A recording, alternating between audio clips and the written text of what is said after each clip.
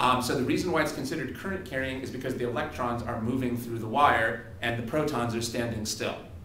So it doesn't have a net, so the, the key point that you're bringing up here is having a current is not the same as having a net charge. Um, the number of protons here equals the number of electrons. so There's no net charge. However, there is a net moving charge because only the electrons are moving, not the protons. Um, okay, so, um, so that's what it means to have a current. So having a current doesn't mean you have more protons than electrons or vice versa. It just means some of the charges are moving and some of the charges are not moving.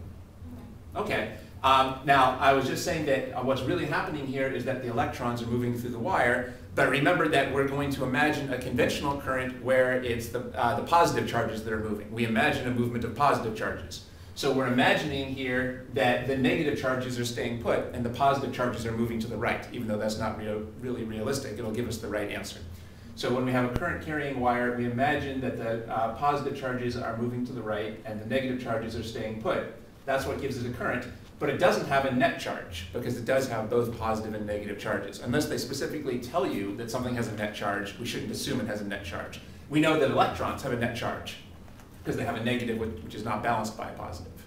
Okay, so normally, um, yeah, so normally wires do not create electric fields. So I think your first answer here was that you thought that the electric field from this wire would cancel the electric field from this wire, but in fact, there just won't be any electric field from here. One thing that might have been confusing there is you might have been confusing this with a, a capacitor, which is a picture that looks a little bit similar. In a capacitor, we really do have a separation of charges, where there's more negative charges over here and more positive charges over here. And the electric field from the positive charges really does point up, and the electric field from the negative charges points up. Well, this would be a case where they wouldn't cancel, but they would reinforce each other. And if we had a separation like this, where there was positive charges on both plates, that wouldn't be a capacitor. But here the electric field from the bottom would cancel out the electric field from the top. But that's only because we have a, a net charge here. Okay. Um, so uh, this would not create uh, electric field. Would it create a magnetic field? Well, yes, because it has moving charges.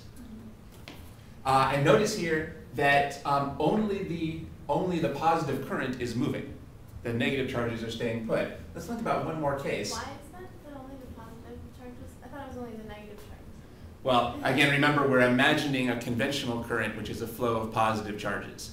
Um, so if we imagine the conventional current, it would be the positive charges that are moving and the negative charges that are staying put. It, it's kind of confusing to talk about. You're right, in the true reality of the real world, it's really the protons that are staying put and the electrons that are moving, but we almost never think about that when we're solving problems. When we're solving problems, we follow Benjamin Franklin's guess. Benjamin Franklin guessed that the negative charges stay put and the positive charges move. So that's what we're always going to imagine, a conventional current. The key point I wanted to make is in any case, um, in, in, a current, only one type of charges is moving. Um, so let's think about, say, a wire with no current.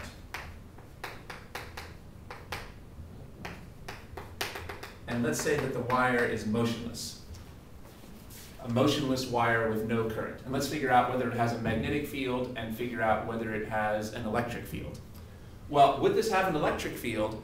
Well, it doesn't have any net charge. The positive charges would cancel the negative charges, so there's no electric field. And would this have a magnetic field if there's no current? No. It has positive charges and negative charges, but they're not moving. And remember that mag mm, excuse me, magnetism only comes from moving charges. And what do you mean between differentiating between motionless and and current and having no current? A current is when the charges are moving, when I say the wire is motionless, I mean that the wire itself is not physically moving. Okay. For example, if this eraser represented the wire, well right now the wire is motionless, and now I'm moving the wire. So one thing you can do is just pick up a wire in your hand and move it someplace else.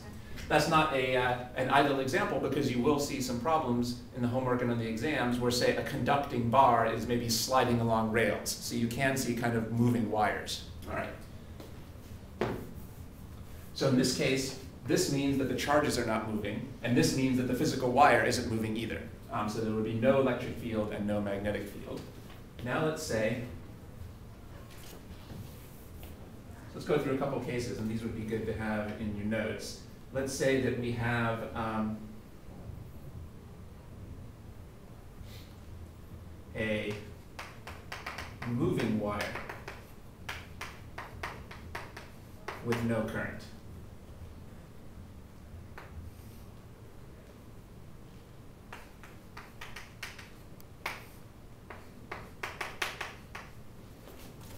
So now the wire is moving, but there's no current in the wire.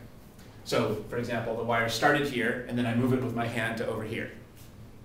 Well, uh, and again, the wire is neutral overall, which is what we normally expect. Well, would there be an electric field here from the wire?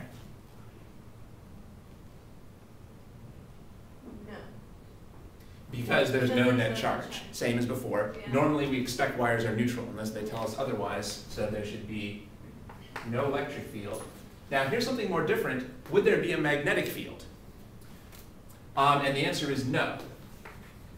Now, some people would get this wrong because they might say, well, gee, if you're moving the wire, you must be moving the charges inside of the wire. So that should give you some. current for there to be magnetic That's right, but that, that, that, that still doesn't quite answer the question because all that current means, current just means moving charges. So the question is, why aren't we creating a current just by moving the wire itself? Well, here's the reason. Um, it's true that when we move the wire, we move the charges, but we're moving both the positive and the negative charges, and those two movements cancel each other out. If both the, so right now, both the positive and the negative charges are moving to the left. Well, those two things cancel each other out, so there's net, there's no net moving charges. So just moving the, the wire itself doesn't create a net current because the movement of the positive charges cancels the movement of the negative charges. So again, everything would be zero here.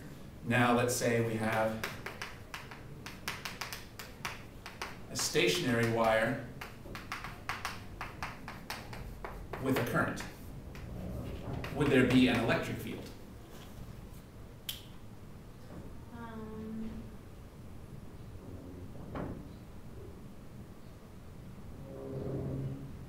yeah, I think that there would be. Would there be? What, where would the electric field come from?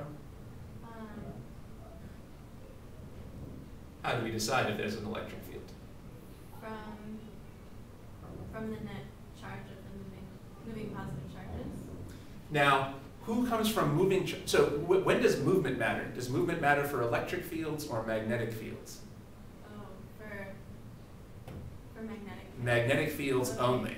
Um, the electric field depends only on whether there's a net charge. The magnetic field depends on whether there's a net moving charge. I should have been, been clearer about that. We should have that in your notes. Uh, if you look at the handouts, you'll see that in the handouts, we said that source charges create electric fields, but only moving source charges create magnetic fields. So for an electric field, you just have to check, is there a net charge, period. Maybe I should put net here. And for magnetic fields, you have to check if there's a net moving charge. So for example, over here, here we had a motionless wire that was neutral, so there was no net charge, so there's no electric field. Here it was still a neutral wire, so there was no net charge, so there was no electric field. Well, what about in this case? Would there be an electric field from this wire that's stationary but that has a current? An electric field, would that exist? How do we decide that? What we want to ask ourselves is, is there a net charge on the wire? And we don't want to ask whether it's moving or not. Uh, for electric fields, movement doesn't matter. Uh, well, uh, would we say that this, uh, this normal wire here is positively charged, negatively charged, or neutral? It's neutral. Yeah, that's right. It's true that the current represents positive charges, but there's still a bunch of um, stationary negative charges here as well. So overall, this would be neutral. Well, what does that tell us about the electric field? Does it exist or not? Zero. Yeah. The fact that some of the charges here are moving is completely irrelevant to the electric field. Movement only matters um, when, uh, for uh, the magnetic field when we're looking at source charges. Okay. All right, now let's decide whether there's a magnetic field. Here again, we have a stationary wire with a current moving through it. Um, so would there be a magnetic field? Um, well, there's, there's moving charges, but there's no net charge. It's true that there's no net charge overall, but now we have to ask if there's a net moving charge. So let's think about the conventional current. Um, does the conventional current represent moving positive charges, moving negative charges, or both? Positive. Yeah, the conventional current represents only moving positive charges. So is there, are there net moving charges? Um, yes. Yes, there are. So should there be a magnetic field? Yeah. Now, it's true that there's also um, an equal number of negative charges on this wire, but they're not moving in the conventional current, so they can't contribute. Um, so they don't cancel out the movement of the positive charges. So uh, I, I haven't really, uh, I haven't really explained this uh, very clearly. What I should have said is, when you're thinking about the electric field, you pay attention to all of the charges, and you ask whether um, on, on net there's positive charges, negative charges, or zero charges. But when you're focusing on the magnetic field, you only pay attention to the moving charges, and you ignore the stationary charges. Uh, well, in this case, there are moving positive charges and no moving negative charges, um, so there is no cancellation. Uh, they can't cancel each other out, so there is a magnetic field.